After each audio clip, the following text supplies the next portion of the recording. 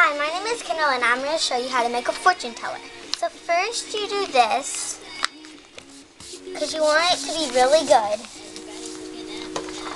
And then you cut that. If your parents don't let you have scissors, just ask your mom or dad. And then you open it back up, and then you fold it like a triangle. And you fold it really good. And then you open it, and then you do this. You fold each corner.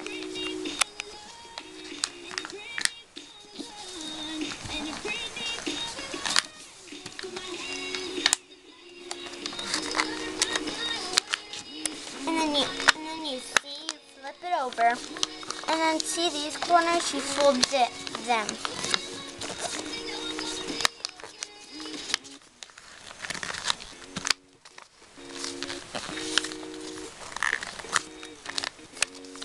I know mine's not perfect, but yours doesn't have to be perfect either. Okay, and then see this, then you fold it this way.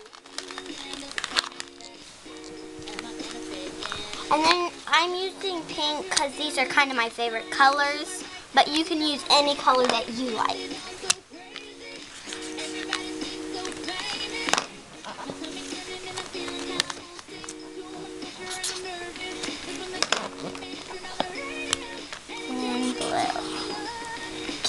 And then you fold it in like, or fold it out. Then you can use a color like one, two, ten, nine, eight, three, or four.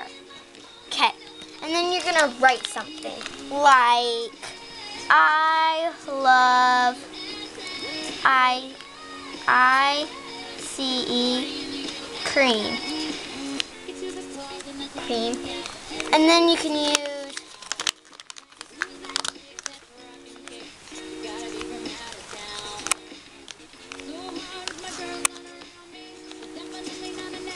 You're awesome. Er,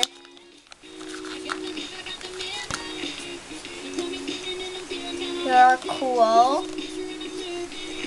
And then you fold it back up. And then you fold it again so you can have it like this. And then you put some fingers in. Like this. And someone says pink. P-I-N-K. Nine. One, two, three, four, five, six, seven, eight, nine. And then ten. One, two, three, four, five, six, seven, eight, nine, ten. And then they say three. One, two, three. And then they say three again. So then you fold it like that, and then you'd say, you're cool.